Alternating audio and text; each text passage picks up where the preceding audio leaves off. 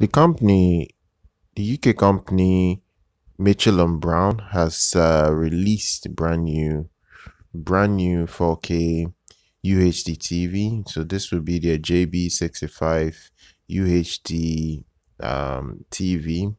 Uh, the the the company gives you a seven year warranty as standard when you buy the TV, which is uh, incredible. I'm not gonna lie. You know, getting seven years warranty, I think is really really good.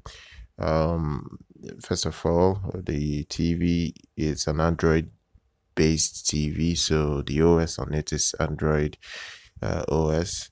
It has a, an access to a wide variety of uh, video on demand services like your Netflix, Disney Plus, Amazon Prime. Um, it's the it's it's an LED TV, so it's it decodes uh, HDR formats including HLG, Dolby Vision. Um, it has a very thin bezel. It is thin, so I, I think a lot of people would like that. Considering some people do like a very thin TV. This is a thin TV.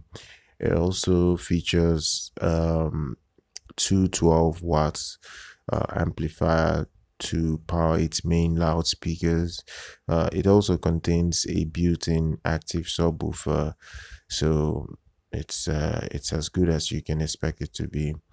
It, it's um, there is also your your optical and eARC connectivity on it. Um, it's it's definitely as good as you can expect it to be. Uh, the seven years warranty sets it apart from other TV manufacturers that don't give you this sort of warranty replacement for your TV if it goes bad. I think they are the only ones doing it. I think it's uh, it's uh, it's really really cool that they're giving you such uh, long term warranty support for their own product.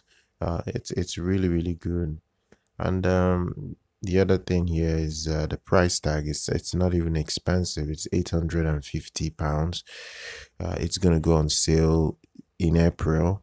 Um, you can wall mount the tv if you want to you can add a soundbar if you want to.